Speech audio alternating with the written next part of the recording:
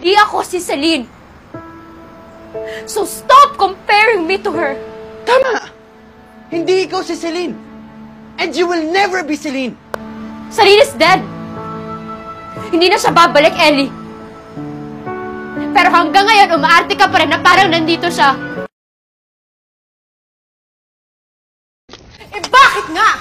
Sabihin mo sa akin bakit hindi mo nagustuhan. I deserve an explanation. Ano? Ano sinabi mo? I need an acceptable reason. Bakit? Dahil tinrabaho ko yun. Pinaghirapan ko yun. I invested my time and my effort. Kaya kailangan mo malaman kung ano mali. Oo, dahil kung may problema, gagawin ko ng paraan. Pagod mo ang pinuhunan mo, di ba? Pati puso't kaluluwa mo, di ba? Dahil ginawa mo yun para sa isang taong iniisip mo na may tiwala at paniniwala sa'yo, di ba?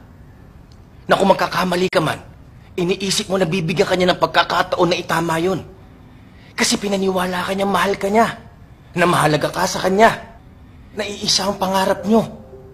Na pareho kayo ng tinatanong na buhay, di ba?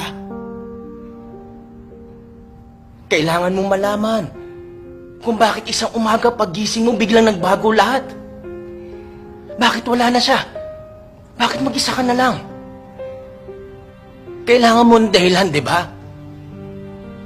Kailangan mo na mapangahawakan kung bakit kailangan mong tiisin na magmukhang tanga. Na magmukha kang tae sa paningin ng tao. Sa paningin mo sa sarili mo.